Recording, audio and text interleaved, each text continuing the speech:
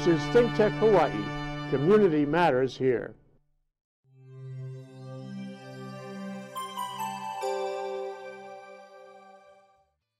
Yes. Oh, that's right. Aloha. How you doing? Gordo the Texar here. Hibachi Talk, another exciting episode of Hibachi Talk. We've been uh, not on the air for a while as um, the Funmeister, Rick's my co-host here, and I have been doing a lot of traveling this year. So, Yeah. kind of my arms are. We, yeah, we found our way back though. We found our way back. We're back for a little while. That's and, great. Uh, um, but our show uh, is going to change a little bit. We're going to be down to two shows a month now, uh, the middle of the month and the end of the month. Don't tell my wife. I'll have more honeydews. Yes, so I yeah, to can't let her know because I'm still going to show up and do my regular thing on Yeah. on, on Wednesdays because it's kind of like my one day of the weekend. Yeah. So, uh, and then um, and lo and behold, our guest calls us at um, 30 minutes or so before the show.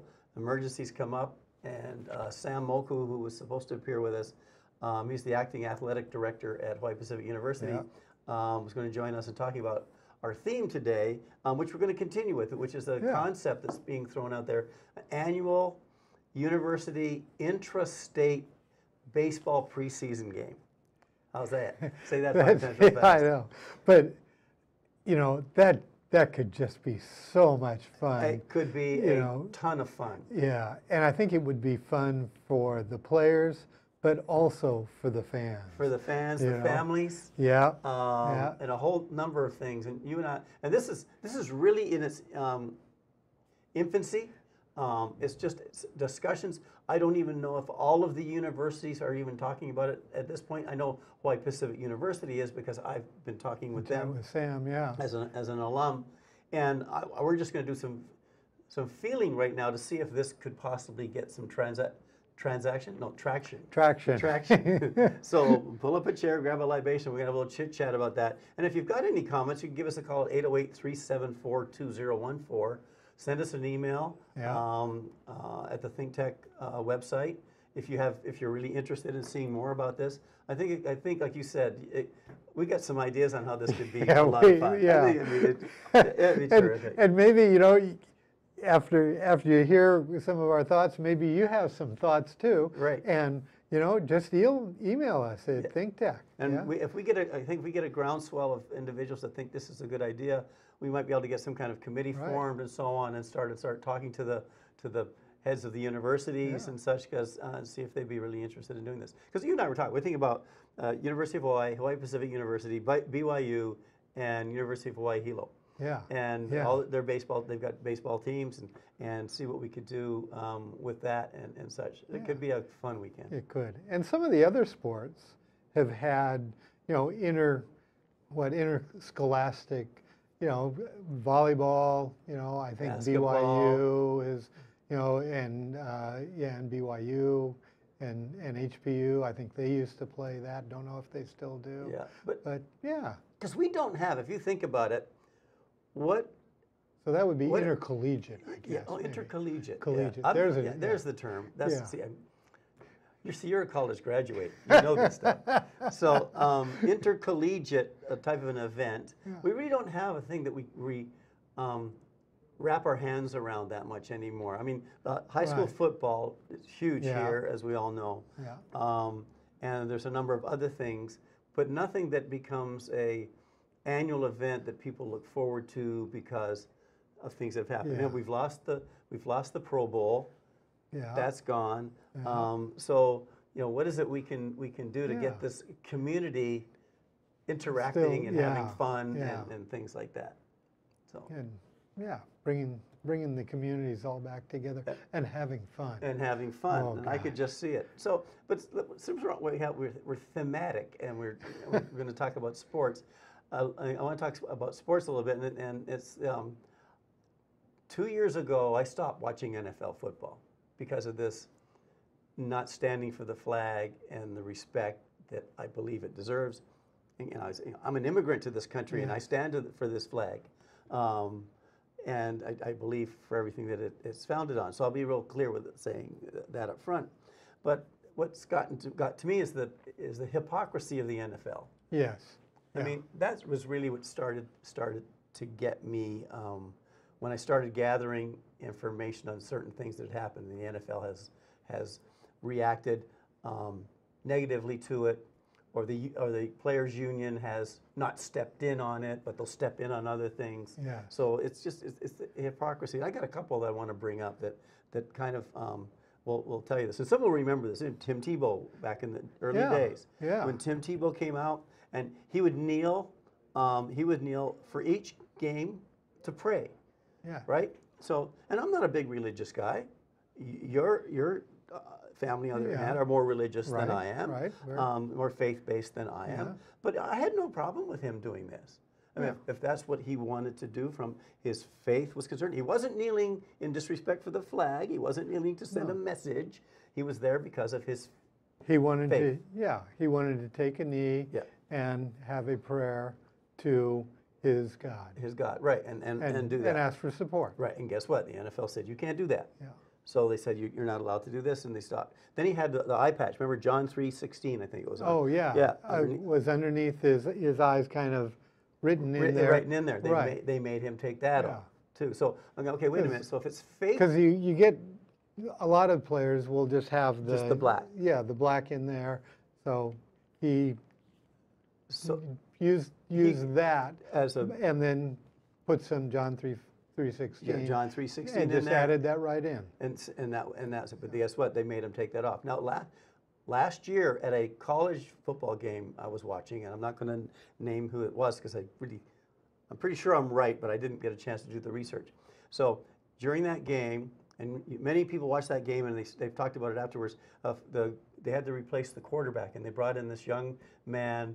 He was a fre- he's a freshman, and I noticed when he came in in the second quarter, I believe, he had a religious Oh. um, statement on the Right, shading underneath his eyes. And I looked at that and I said, and I said, you're not going to see this in the second half if this kid's playing in the second half. Yeah. And sure enough, he came out in the second half and it was gone. Yeah. Totally back to gone. the shading, just back th- to there the was no shading. It was like everything was gone. gone. Ah. So, um, so my my guess, and I have no way of proving this, is my guess. TV was watching it.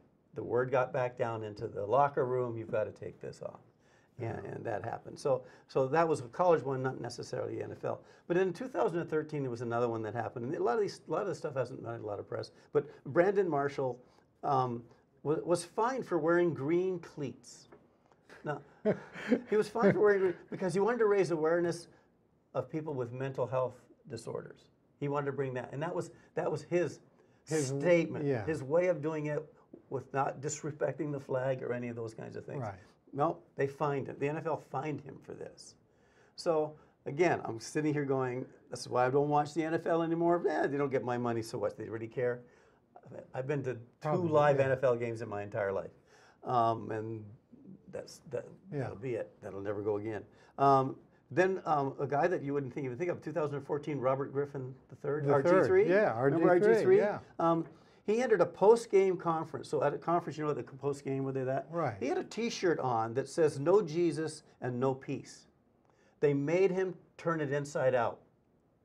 And And he couldn't Yeah. wear. They made him turn it inside out. so it wasn't, it wasn't an issue that he couldn't wear a T-shirt.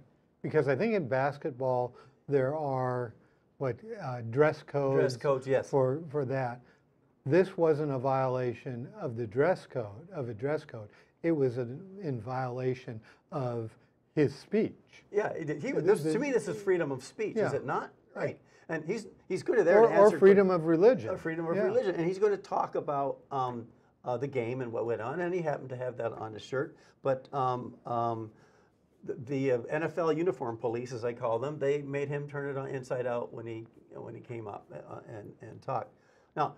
I'm thinking now in retrospect, you can always think of these later. It would have been good if, if he just said, you know, well, guess what? If I can't go up there with this shirt shirt on, then I'm just going to I not can't go, go up. up, And. I'll just tell them why I'm not going up because I have a shirt that says, you know, something uh, along these lines.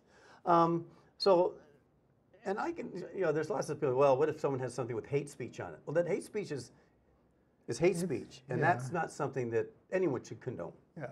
right? So, so let's don't play around with those kinds of things. So then in 2015, DeAngelo Window, Win, Williams, DeAngelo Williams, he was fined for wearing um, Find a Cure eye black for breast cancer awareness. He was fined. For- For, Find a cure, cancer awareness, and he was fined. Yeah. Now, how many? And, but, you know, there's, there's what, one, one weekend a year that the NFL team wants you to wear pink, Pink gloves, gloves, pink shoes, shoes. you know, pink, Yeah. whatever, you know, on that. So So- if it's, if it's NFL Yeah. sanctioned, then you almost have to wear it. But if it's not well, NFL what if I wanted to? sanctioned, listen, yeah. yeah, Oh no! What? I'm Then going to you- you protest. I'm can't. not going to wear pink yeah, as a form of protest. right. Duh. I mean, I mean, just again, it's trying to figure out this Yeah. this thing. Um, again, in 2015, uh, William William Gay was fined for wearing purple cleats to wears to raise awareness of domestic violence. Now, not like the NFL has domestic violence problems. Oh, gee, Oh heck no! We don't Um, want to not go there. not them. No, don't go down that path. Um, but you know the, the the thing is again they find him for wearing those purple cleats to bring an attention to uh, the, the, that domestic Women's vi- violence. domestic Yeah, violence, and that yeah. needs to that needs to be be something that we um, address. Make conscious efforts of people understanding this. Um, it's obviously been a problem within the NFL for a number of years, and now it's showing up in the in the uh, universities. I mean, to see the things that you know, his, all the histories and things that are coming back beyond domestic violence now that, that's happening and those kinds of things.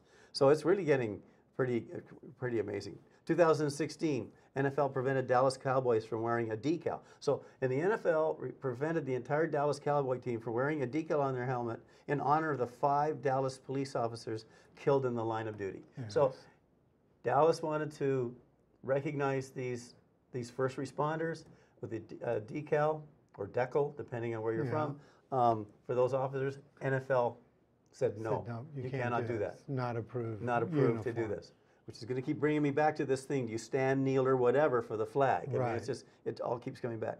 Um, then um, in 2016, the NFL threatened to fine players who wanted to wear cleats to co- commemorate the 15th anniversary of 9/11. So the NFL threatened to fine players if they wore cleats to commemorate, commemorate, Yeah, commemorate. commemorate 9/11. And then there's another one. So, so, So they've been, they've been very consistent up to a point. up, up to a point. So now here we are, and you know, and, and so the beginning of this year, not the beginning, but when the, before the season started, NFL um, uh, said that they were going to pass a rule that uh, everybody had to stand. That this was what you do uh, in respect to the flag. Um, the owners said yes, this is what we're going to have happen, and then the union got involved and said that they did not have an opportunity to voice um, their opinion on it because it was a, a union issue or a labor issue. Mm-hmm. And so now here we are back again. It's just a mess. Some are standing, some are putting their fists up, some are remaining in their locker, some are kneeling.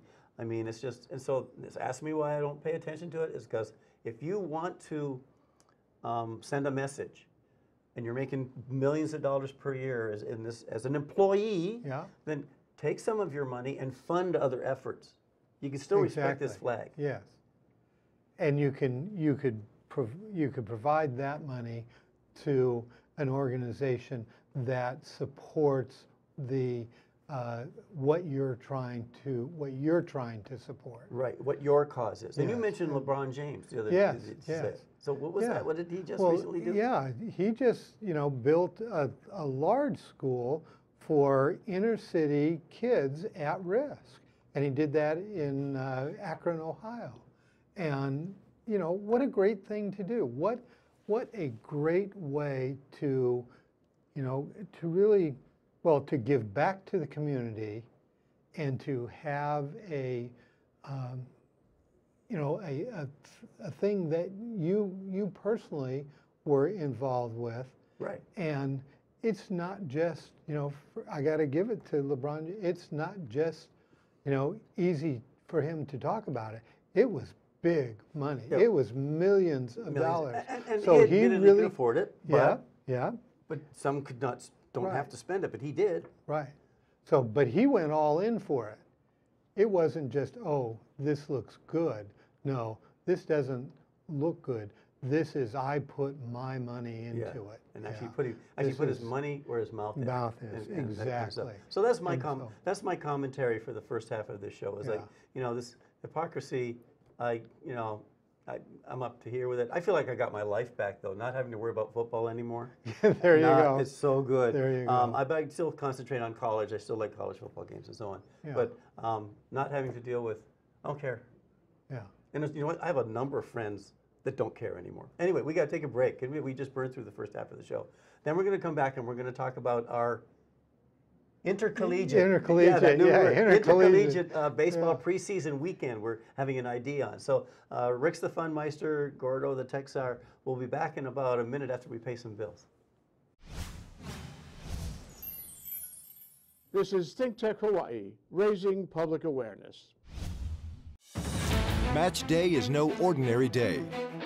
The pitch, hallowed ground for players and supporters alike. Excitement builds.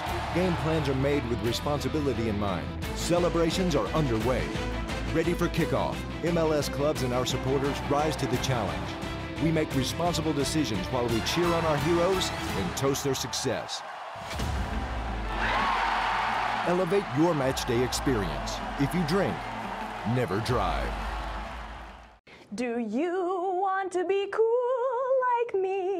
If so, watch my show on Tuesdays at 1 called Out of the Comfort Zone. I sang this song to you because I think you either are cool or have the potential to be seriously cool.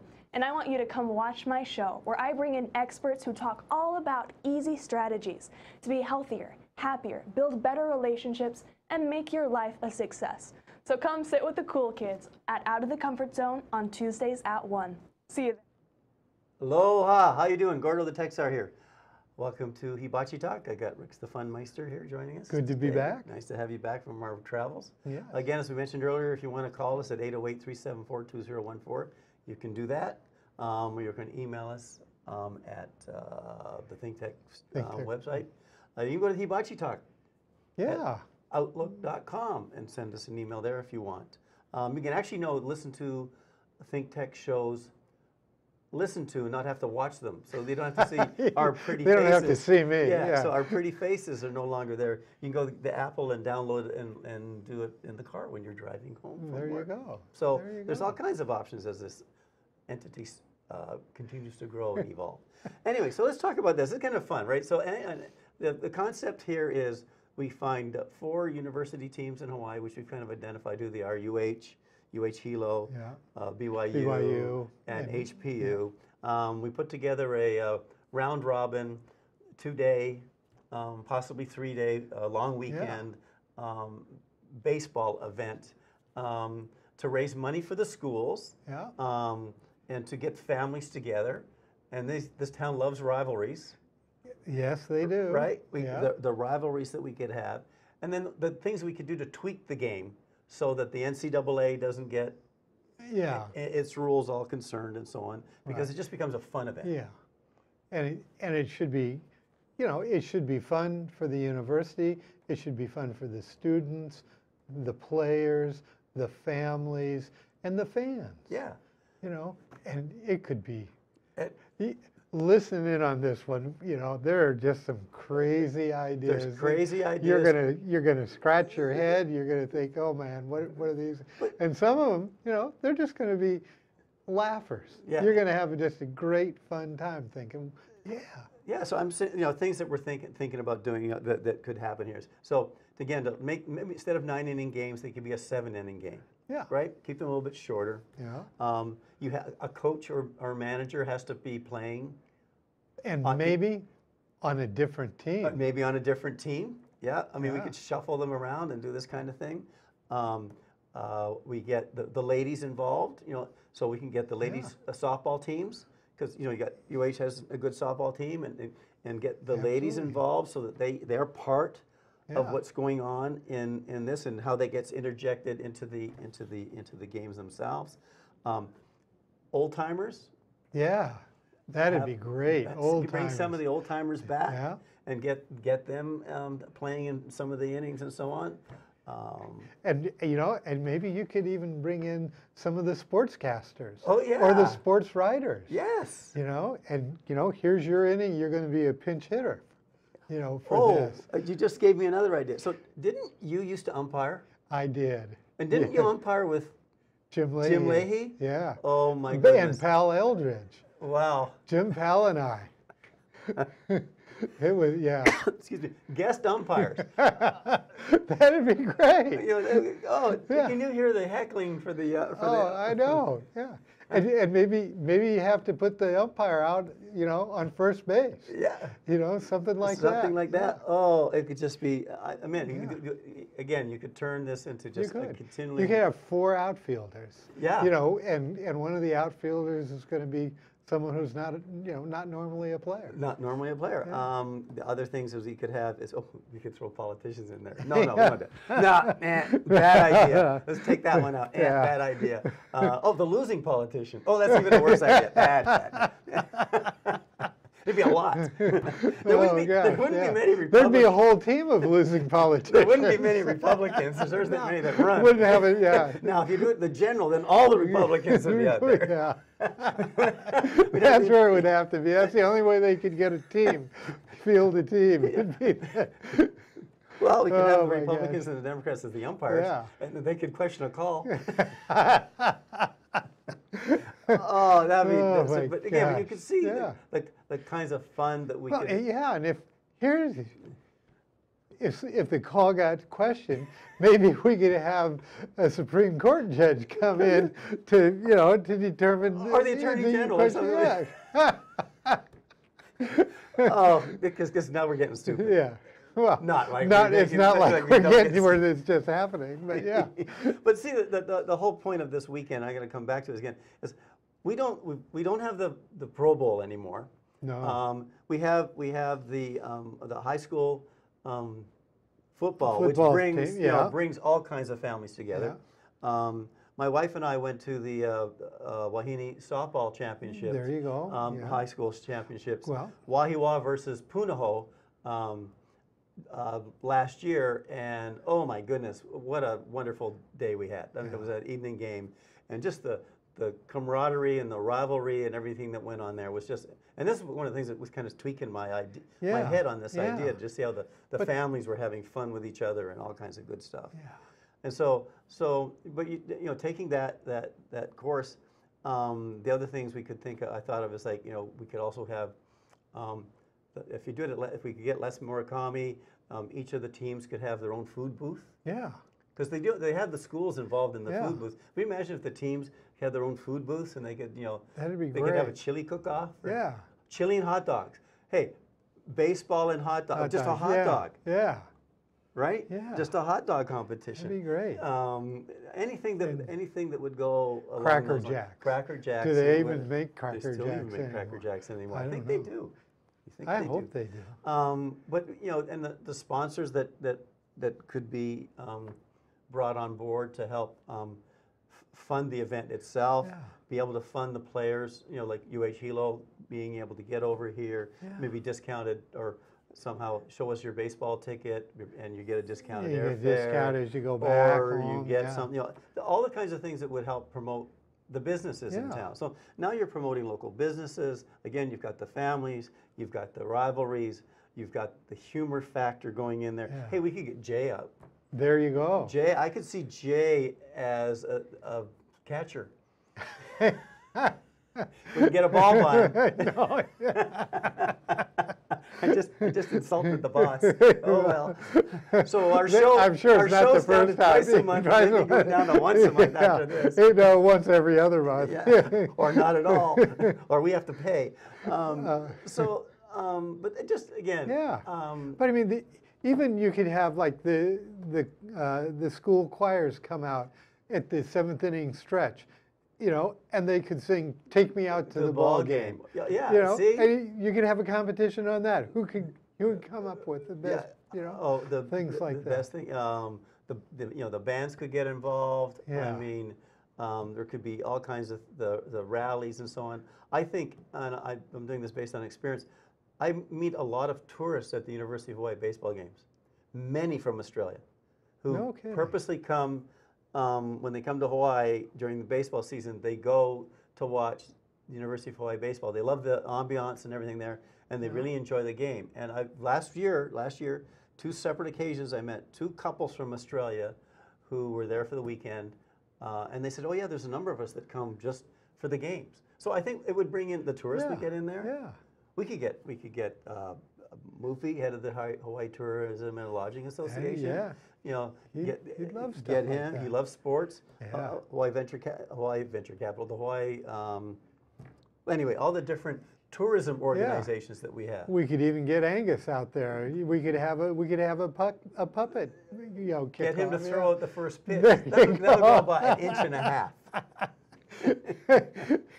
he he could throw it to Jay behind the behind the plate. Behind the plate, Yeah. perfect. Jay, There's no way Jay go. would get hurt. That's for Yeah. sure. so, but anyway, it's just um, it's so, it's- let me tell you what's kind of happening. So, Sam Moku, who is the acting director of Hawaii- HPU, yeah. HPU, who was supposed to be on the show today and had, had an emergency come up, and he, he had to um, uh, not be Had able to to make it. So we're going to yeah. get him back. Um, but he's he's actually kind of I think leading uh, leading the charge, and he's trying to get meetings with all the different athletic directors and so on. So um, I'll be meeting with him again, and we'll get him on the show, and maybe we can get some great. legs with this. That yeah, that'd be great. And you know, fans here in Hawaii, you know, call call in or you know email in to Hibachi Talk at Hibachi Talk or- Outlook.com. yeah. Send that. I'll start putting Tank, this yeah. together. Um, let us you know. Let us know. Let- Even you know what? Write write to the paper. You know, letter to the editor. yeah, well, then you, and I should do that. Yeah. Actually, you got time. if you if you ghostwrite it, I'll sign it. Okay, there you Maybe. I'll read it first. All right. So anyway, we've we burned through the show. Believe it or not, this, it's, it's yeah. already done. We, um, you and I always have a bunch of chuckles together. Thanks again. hey, it's always great to be here Have- with you, I- I haven't seen you for So a while, so um, safe travels. Yeah. Um, we'll be back at the end of the month, so we have to get redirected on how to find this place. I was lost. Didn't where at. Anyway, Gordo the You're Texar. always lost. I'm always lost. That's true. Gordo the Texar here with Hibachi Talk and with my good old buddy Rix the Funmeister. It's always a pleasure, buddy. Thanks, always a Gordo. father. Always a fun, fun time. Son. okay, Dad. Okay, and like we say at the end of every show, one, two, three. You remember? How you doing?